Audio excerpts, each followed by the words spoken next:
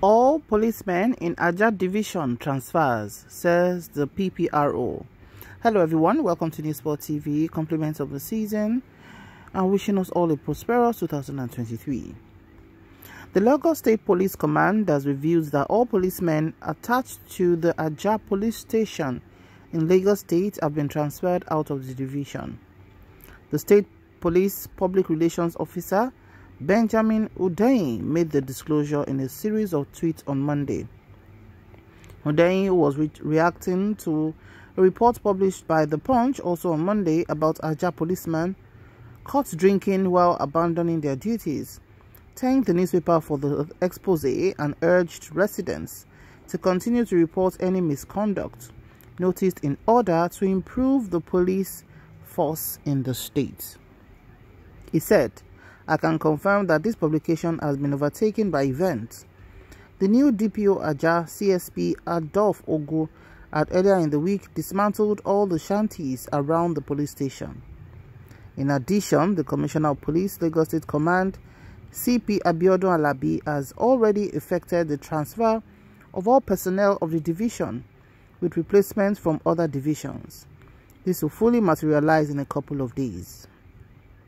We encourage more Lagos residents to, as usual, say some say something whenever they see something, and this will translate to a better policing experience for all. Remember, security is everyone's business. Investigations have proven that policemen attached to the Ajiwe Police Division, Ajah Lagos State, regularly abuse alcohol, which may be responsible for the increasing rate of extrajudicial deletion by cops from the station as residents and business owners also observed the trend. According to residents of the area, the policemen are always under the influence of alcohol while on duty and on patrol. They said this might be responsible for the recent killing of a pregnant lawyer Bolanle Raheem by an assistant superintendent of police, Drambi Vandi, who was attached to the station. Two weeks earlier, an inspector, Ime Johnson, attached to the same division, was shot dead. Another resident, Gafaru Braimo, who was on his way to buy fuel. Hmm. So let's take some of the comments by people on this. A commenter said, transferred, does that eliminate their evil behavior? Won't such exhibits repeat itself at the new post?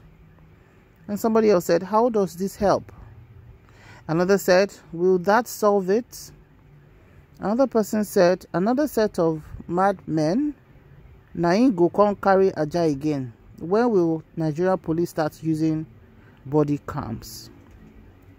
So this is the latest updates on this case and honestly we just love to move around in circles. I think that's our area of socialization when something happens, they'll just start beating around the bush. You know, we start running around like a headless chicken when what we are supposed to do, we would not face it in most cases. As we continue to mourn the demise of this industrious lawyer and a successful real estate guru, Mrs. Abolale Raheem, we pray that her soul continues to rest in peace. Remember, she was shot on Christmas Day with a two sorry seven month old pregnancy in the presence of her husband, a eight year old child, her little cousins, and her sister. This is the face of Drambi who did the evil, and what else can we say? But um, we hope Nigeria will just be safe again.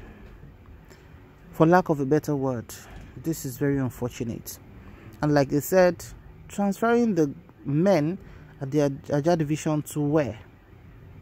Is that going to change them? Is that going to reorientate them? Or they're just going to be let loose to different stations again where they can create the havoc because the Ajah division has been noted for this notoriety.